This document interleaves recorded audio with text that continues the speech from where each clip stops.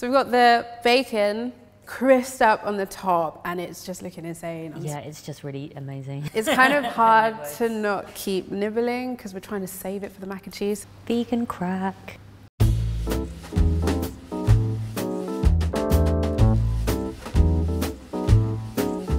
My name is Rachel Ama and I have a YouTube channel where I share a lot of different vegan recipes and I'm joined with Lue.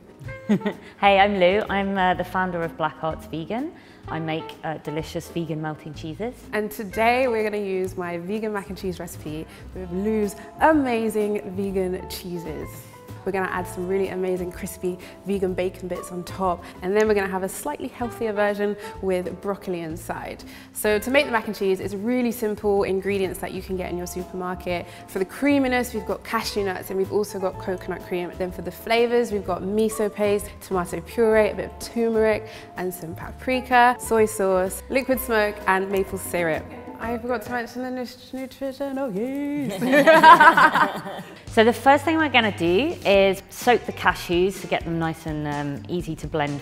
To make the coconut bacon, we're going to mix in our smoked paprika. This is the Very best nice. smelling smoked paprika I've ever come across, seriously. We're going to add two tablespoons of soy sauce. Be careful when you're buying soy sauce because not all soy sauce is actually vegan. Some of it does have fish broth in it, so just be careful to buy a, a vegan soy sauce. Then we're going to add in some maple syrup which is going to do that sweetness and it's going to help crisp it up. And then the magic ingredient is the liquid smoke, and this is your special.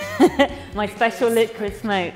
In Berlin on a night out, we spent about 150 euros on hot sauce and I grabbed some of this and it's just, it's so good. We're only using a tiny bit because this stuff is potent. I think if you were using one from the supermarket, you'd probably want to use maybe like a teaspoon or so because it's not quite as strong, but this one we're just using a tiny bit. It'll be fine. Then we've got two cups of coconut flakes. We're just gonna pour those in, coat them up in all that delicious sauce. Oil as well, which two tablespoons. Coconut is crispy. And then you've added the salty, slightly sweetness, mm. and it's mm. just, it's so addictive. it really is. So then we're just gonna line this on a tray, spread it out as much as you can. You can also use a bit of baking paper. It's gonna go in at about 200 degrees fan and cook and crisp out. Because it's got maple syrup in there, you don't want it to burn, so just keep an eye on it. For more flavour in the mac and cheese, we've got onion and garlic and we're going to roast these. And then for the other mac and cheese, we're also going to add broccoli. Most people obviously want to boil broccoli, but actually roasting it's really tasty. Just cut the back to expose the garlic and you'll see when it comes out, you can just like squeeze the garlic out like a zit. Drizzle with a little bit of oil. You want a flavourless oil. Um.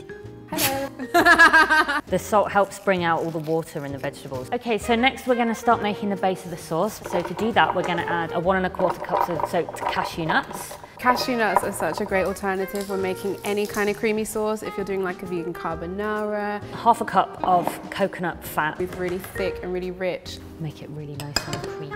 One teaspoon mustard powder, smoked paprika, and then half a teaspoon of turmeric two teaspoons of tomato puree and two tablespoons of miso.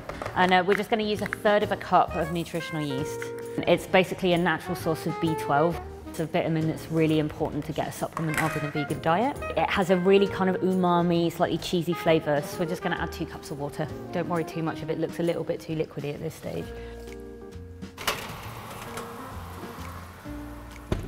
You just want to make sure with the broccoli that you don't overcook it and it still has a slight bite to it. Everything's prepared, our broccoli, our sauce.